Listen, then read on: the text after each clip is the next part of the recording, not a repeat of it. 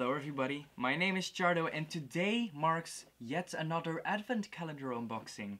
So let's get to it, shall we?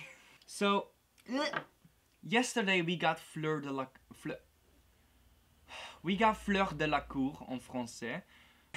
and I'm pretty excited to see who we got today. So, let's take a look, shall we? Door number four.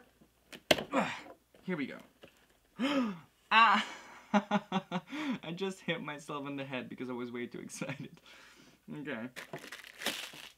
I forgot his name. Who is this? Victor Krum, yes! Where is he? Did I put him back? Oh, I thought I lost him. So today we got Victor Krum which is really exciting. Honestly, it's very exciting. He looks very cool. His like shaven head is very cool. Like the other heads have like hair and dimension. This is just almost a ball head, just painted hair on. Does that make sense? He's also wearing his like red Yule Ball attire, which is very Durmstrang because I think every guy from Durmstrang wore this outfit. Not sure though he looks very cool. He looks very detailed. He's also like holding on to his belt like a real man. I'm in love with him. No, uh, I'm, I'm not in love with him. That's what that's not what I'm saying. I just I I'm making myself seem bad. okay. It's a great Funko Pop. That's all I wanted to say. It's great.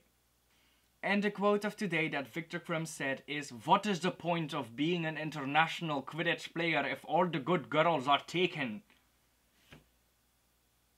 I don't know why that sounded Irish.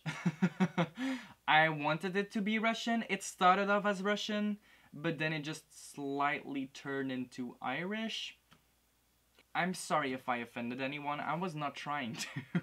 I was just genuinely trying to do a Russian accent but I couldn't do it. See, even Victor Krum hates me now.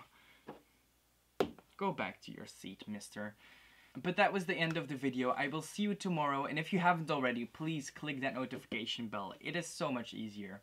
Okay, bye-bye. See you tomorrow.